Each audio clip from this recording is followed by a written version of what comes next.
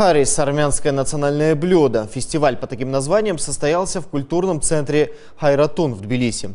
По преданию, блюдо готовится за день до начала Великого Поста, который продлится до 8 апреля. Харис готовится из мяса, грибов и крупной пшеничной крупы. На мероприятии присутствовали представители армянской диаспоры и посольства Армении в Грузии. За несколько часов до этого, в честь дня рождения известного армянского поэта и писателя Ованеса Туманяна, представители армянской общественности отпели панихиду в пантеоне армянских писателей и общественных деятелей.